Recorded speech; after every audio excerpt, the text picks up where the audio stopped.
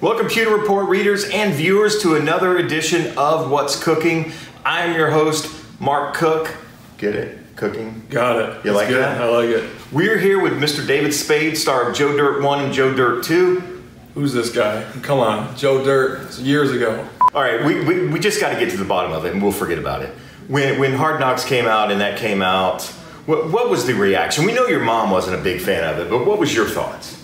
I was so angry. No, I'm kidding. I wasn't bad. You know, I liked it. The, the fans kind of took to it, and uh, when they'd see me around, they would, you know, call me Joe Dirt and everything. So it's just a way for them to kind of talk to me. So it's pretty cool. And I noticed you got rid of the mullet. I did. You finally shaved that off. Was that because you were tired of the Joe Dirt? Were you tired of the Joe Dirt references? I was You're like- tired of it, so I had to cut it off. I did something. I- and when I saw you with the new haircut last year, I said to yourself, "You'll be amazed at how much money you will shave and sha- save in shampoo." Oh, so much. It's, you used to have to do like two handfuls. Yeah. Now you just do like a little piece. I do pay for more haircuts now, though, so that's a bad thing. That's true. How long did that hair grow, by the way? That was at least two I went years. four years without a haircut. Wow. Yeah, I just let it go. Now, everybody knows Riley played for the Michigan Wolverines. Not even close. Well, it is kind of close. It's kind of close, but very different. By the way, Michigan State, obviously. It must pain you to see the success that, that Michigan's having this year. Well, it doesn't pain me just because we beat up on them so bad for so many years. but you know, they're a You good, felt bad for 'em. They're a good team uh, this year, and hopefully next year Michigan State can rebound and, and beat them. Harbaugh. I, you know, I probably shouldn't say anything. Eh, he could be your coach five years from now, so we better not talk too bad about him. He may watch this show, but between you and I, we really don't like him. Blink twice if you agree. I got no comment. One, two blinks. I saw two blinks Yeah. right there. Okay, now I get it. Eh, He's a rival coach. I get that. All right, we're going to get to the cooking part of things here now because this is the most important thing. This is a very serious cooking show, as you can see by this outfit here. First of all, do you cook? I do. All right, we're gonna Yeah. get to that in a second. But when you were growing up, came home from school, you were wearing your little Sparty hat, you know, because I'm sure you're a Michigan State fan your whole life. When you were coming home and you smelled dinner on the stove and you got so excited because it was your favorite meal, what was it that was your favorite meal?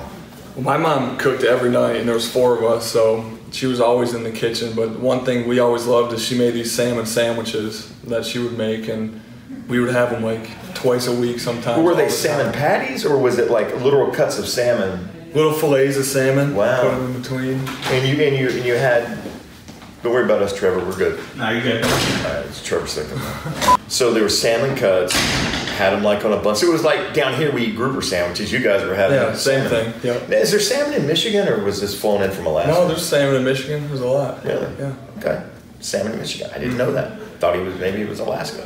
By the way, we started off doing this show in the kitchen. They kicked us out of there. Then we started doing it outside of the kitchen. They kicked us out of there. Then we were doing it out on the field and they kicked us out of there. So we've officially moved into just the regular media lobby. Pretty soon we're going to be out in my car in the parking lot. So you, you got lucky. You got in before they kicked us out in the uh, Yeah, car. Out of those 53 guys in that locker room, who are you trusting to cook you a killer romantic meal? Man, I gotta go with Fitz. Probably he's about 50 years old, so he's got a lot of experience under his belt. He's got a bunch of kids, so I'm sure he can put. You realize you're going to get hot dogs and mac and cheese because he's got like 14 kids. I know. It's going to be like you're at camp when you were a kid. It's going to be camp food. but it'll be on time. It'll there'll be enough food. so Will you make him wear a hairnet for his beard though? Yeah. Because when you're eating your pork and beans, you don't want to find And one he's got that long. He's it. definitely got to service the food and clean everything up. Make him wear a butler outfit too Yeah. with that long beard. That would be Definitely. awesome. All right, so Fitz is cooking for you. Now, if Riley's at home and you want to impress the lady with a home cooked meal, what is it that you're throwing on the grill or on the stove or in the oven? Your go-to Steaks are always impress. a go-to. Yeah. I like to cook chicken fajitas. Um, really, all the simple stuff. Burgers, I'll throw on the grill too. Any of that stuff. When you when you do your burgers, is it uh, just regular ground beef? Do you go exotic with like some bison, uh, Kobe? What what kind of beef are we are we talking about here? I have gone crazy. I've went and bought elk burgers once. I've done the bison. I've done it all. But if I'm having a girl over, I'm not trying to freak her out. So I'm just gonna get the normal normal ground beef. Now you're from Michigan. A lot of deer in Michigan. Are you a venison guy? I'll have venison. I don't really hunt. A lot of my friends do, but if, if it's around, I'll eat it. Yeah, very good. It's my favorite, by the way. Very lean, Yeah. very high protein. Mm-hmm. All right, so, all right, now we're down to the most important question of the entire thing. Good shot of his socks there. Those are pretty cool. Clean. How much do those cost? I like a pair of those. These are from the training room Huh. or equipment room. Maybe so. you could like, Yeah. sneak a pair out. I got you. All right, cool. Most important question, and this has nothing to do with cooking. We've alluded to a lady friend, and if you have a girlfriend, we're going to be in so much trouble before the show's over. But who's your celebrity crush? And if you don't want to get in trouble right now, maybe your celebrity crush when you were younger, maybe you were a teenager. I'll say it's Megan Fox all day. You kidding me? Can I get a high five on that one? Easy. Yes. I don't know. Did you ever watch 90210 when you were younger? I never did. All right. Well, apparently she married like one of the nerd kids on that show. David, I think was his name.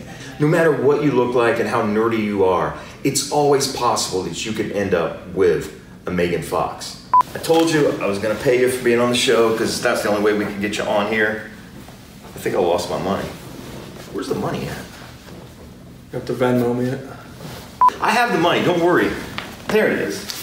now, I want to I want to thank you for being on the show. I know that we had to bribe you, and uh, so I want to go ahead and give you this if I can unfold it here. I'm not used to carrying around this big of a bill. Sorry. For Riley Bullough. I could buy dinner with that. Yeah. I'm going on a date. You may be I able can to hire Fitz for that. you may be able to get Megan Fox to come Yeah, over for dinner. In all seriousness, if you watch the show and you retweet the show, what we're going to do, Riley's going to sign this $100 bill. Make no mistake, federal government, this is not real, it's not counterfeit. We bought this at a costume store, we're not trying to counterfeit. It's not even green. Riley's going to sign it, and then we are going to give it away to one lucky viewer of What's Cooking. Riley, appreciate it, my All friend. right. Thanks for joining Yeah, us. thanks for Good having luck with everything. Hopefully, Joe Dirt 3 is successful as the first two. Hopefully. Did you see the second one? I didn't like it. Yeah, I didn't like the second one either. It was it was bad. Thank you for watching another edition of What's Cooking with Mark Cook and our main man, Mr. Michigan Wolverine slash Sparty. Just kidding, Sparty. Michigan Wolverine. I did it again. The Spartan, Mr. Riley Bull.